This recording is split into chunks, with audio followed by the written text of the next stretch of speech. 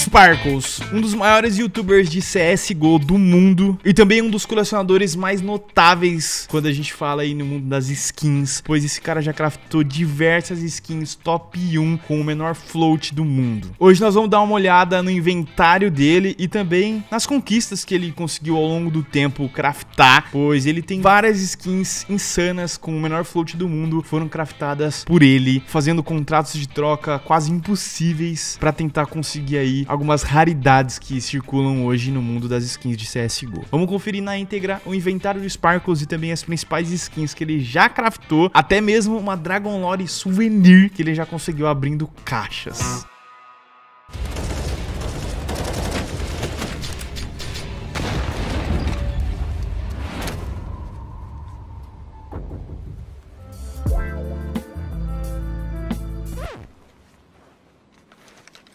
Parem, parem. O sacrifício por skins caríssimos já não vale a pena. Agora temos o K-Drop. Boa! Ah, ah, ah! K-Drop. Skin caro é mais simples do que pensas.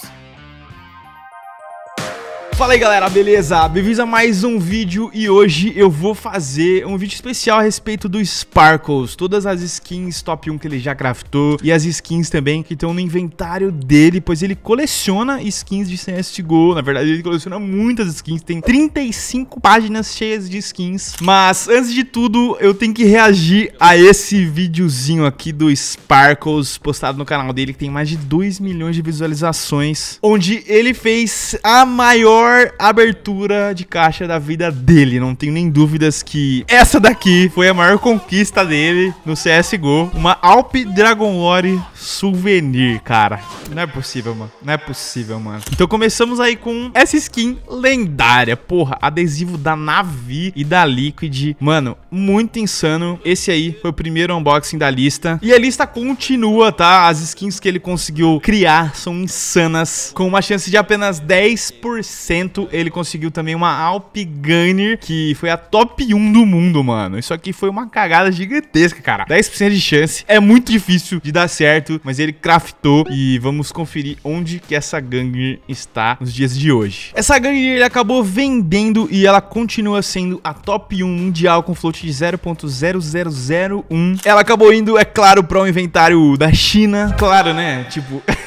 era desesperar. E outra skin top 1 que o Sparkles também craftou e acabou vendendo, a gente vai descobrir agora qual que foi. Essa daqui também com uma chance baixíssima. E, mano, esse cara tem muita sorte, não é possível. Ele craftou a Glock Fade top 1 do mundo, mano. Tá maluco. E pasmem, essa daqui continua sendo a Glock Fade top 1 do mundo também. 5 zeros após o ponto seguido de um 1. Quem que vai conseguir bater isso? Ninguém, nunca, a não ser ele mesmo. Mais uma skin histórica, não sou muito muitas, mas essa daqui também foi histórica. Ele conseguiu uma K top 1 do mundo, que foi a Fire Serpent Star Trek Factor New com menor float já criada. Muito insana também essa K, é muito famosa na comunidade de skins de CSGO. E com float de 0.0604, essa daqui, inclusive recebeu craft recentemente, três mouse ports e um crown foil. Sparkles acabou vendendo essa skin. E tem mais algumas skins aqui que ele craftou, ele tentou fazer a Medusa top 1 e também a Dragon Lore top 1 do mundo mundo, mas falhou. O inventário dele é cheio de tranqueira, cheio de porcaria, já que ele usa essas skins pra fazer os vídeos dele, contratos de troca e tudo mais. Algumas skins que o Sparkles pegou, ele acabou mantendo no inventário dele. Uma delas é o caso dessa Alp Fade, com float muito baixo de 0.00001. No momento é a segunda Alp Fade do mundo, tá? Com menor float. Uma outra skin que ele craftou e continua como top 1 do mundo foi essa AK Pantera Onça, tá? 0.000. Tem alguns investimentos também no inventário do Sparkles que ele acabou deixando por aqui, como esse Vox Olo, um adesivo que passa aí de 100 mil reais e tá entre os adesivos mais raros do CSGO. Uma skin maneiríssima que o Sparkles tem também é a nova Alp Desert Hydra, mas souvenir com os adesivos dourados aqui. Porra, essa skin é sensacional. Ele deixou também no inventário dele, acho que a faca favorita que ele deve ter conseguido, que é essa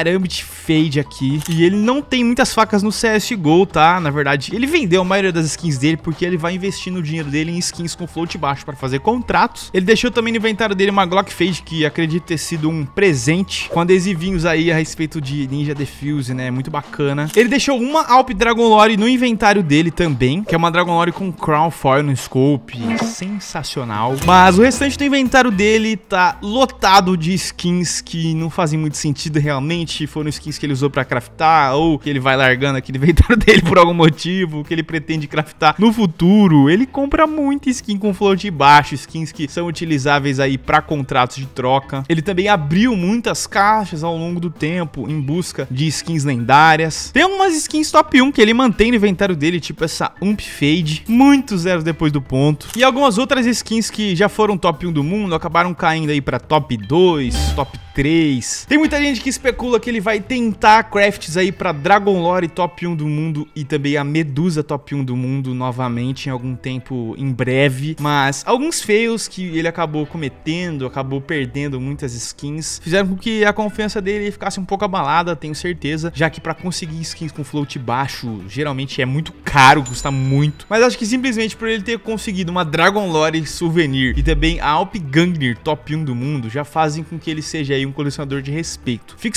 esperando pra ver se ele vai craftar a Medusa top 1 do mundo, a Dragon Lore top 1 do mundo. Quando ele tentou, deu errado, mas quem sabe ele não tenta de novo, né? Então é isso aí, galera. Espero que vocês tenham gostado desse vídeo e a gente se vê no próximo. Tamo junto, falou!